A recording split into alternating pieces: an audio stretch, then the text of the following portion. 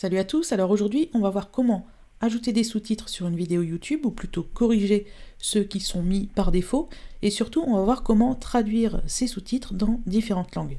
Donc par exemple, là je vais ouvrir une vidéo, donc vous vous connectez bien sûr à votre interface d'administration YouTube, vous ouvrez une des vidéos pour accéder donc à sa fiche directement,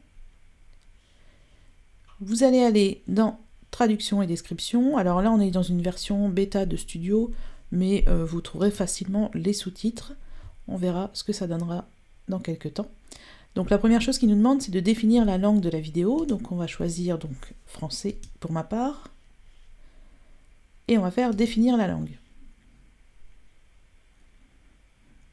Donc comme vous le voyez, vous avez déjà des sous-titres qui sont publiés automatiquement. Donc c'est une transcription, on va dire, phonétique euh, qui n'est pas toujours euh, exempte de, de fautes.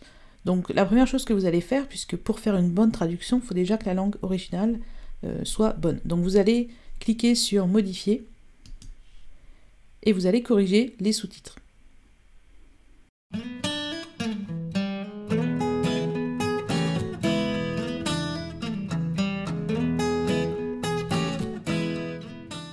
Une fois que vous avez corrigé les sous-titres donc en français ou dans votre langue maternelle, bien sûr, vous allez faire publier les modifications. Donc là, vous allez vous retrouver avec deux, deux sous-titres. Donc le français, c'est celui que vous venez de corriger, et le français automatique, c'est celui généré par YouTube. Donc on va supprimer celui qui est généré automatiquement, puisqu'on n'en a plus besoin. Donc on va faire annuler la publication, puisque pour l'instant il est publié automatiquement. Et ensuite, on va faire supprimer le brouillon puisqu'il est passé en mode brouillon. On valide, donc faites attention bien sûr à supprimer les bons sous-titres. Donc là, on se retrouve avec uniquement euh, la piste des sous-titres en français qu'on a corrigé, donc qui est très bien fait. Et là, on va faire action et on va télécharger les sous-titres au format SRT. Donc c'est euh, le format de fichier des sous-titres. Ça va nous donner une liste comme ça donc de nos sous-titres avec surtout ce qui est important c'est le code temps. Donc c'est le, moment où les sous-titres s'affichent. Donc on va tout sélectionner, donc vous faites commande A ou CTRL A. On va faire copier, donc commande C ou CTRL C. Et on va ouvrir un éditeur de texte, euh, par exemple TextEdit qui fait très bien l'affaire. Et on va venir coller les sous-titres ici.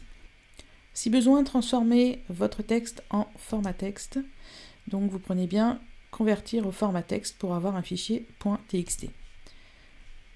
Vous faites OK. Et là, vous pouvez enregistrer. Donc moi, c'est ma 101e vidéo, celle-ci. Donc je vais l'enregistrer sur le bureau. Voilà, 101.txt. Donc vous vérifiez bien que vous êtes en txt. C'est important pour la suite. Une fois que c'est fait, on va euh, toujours donc copier euh, ces sous-titres ici. On va aller tout simplement sur Google Traduction.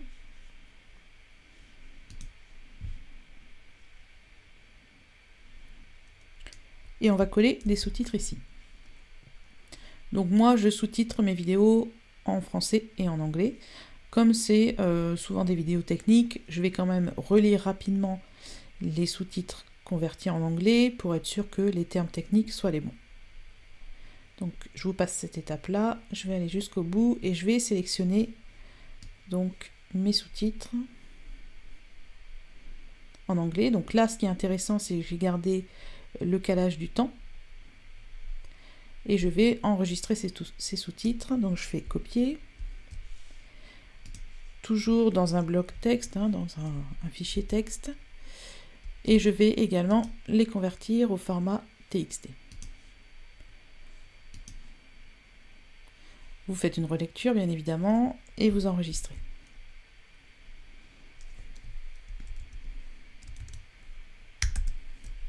Donc mon fichier je l'ai appelé 101 euh, underscore us.txt, je vérifie que je suis bien en txt encore une fois et j'enregistre. J'ai trouvé un site euh, qui permet de convertir des fichiers texte en sous-titres, puisque YouTube demande un fichier .srt. Donc on va aller tout de suite sur ce site. Je vous mettrai le lien bien sûr dans la description de la vidéo. Et c'est ce site-là qui s'appelle GoTranscript. Ok, donc là, on va envoyer notre fichier texte. Donc les sous-titres anglais. Donc je vais bien prendre mon fichier US ici. Je vérifie. Je suis bien en version US. Donc mon fichier TXT. Je vais choisir le format de conversion. Donc je veux du point .srt. Et je vais faire convertir. C'est immédiat. Hein, le fichier est converti. C'est gratuit. Donc n'hésitez pas à vous en servir. Et puis je vais donc voir que le fichier est bien téléchargé et il s'appelle bien .srt. Donc, je vais le mettre sur le bureau comme ça. Je vais le renommer puisqu'il ne m'enlève pas l'extension. Donc le but c'est d'avoir un fichier .srt. Je vais retourner sur YouTube, je vais revenir en arrière donc sur la gestion des sous-titres ici et je vais faire ajouter des sous-titres. Je vais choisir la langue, donc pour moi c'est l'anglais je vais faire importer un fichier. Et donc, je coche bien fichier de sous-titres. Je fais choisir le fichier et je vais chercher mon fichier .srt sur mon bureau et je fais choisir. Je les importe.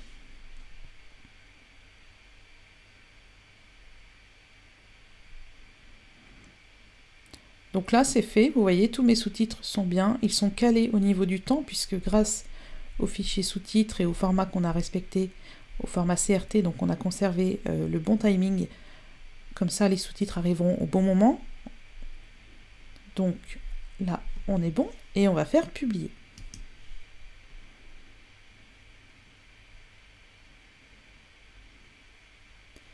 On revient sur notre interface liée aux sous-titres et donc on a bien les sous-titres anglais et les sous-titres français.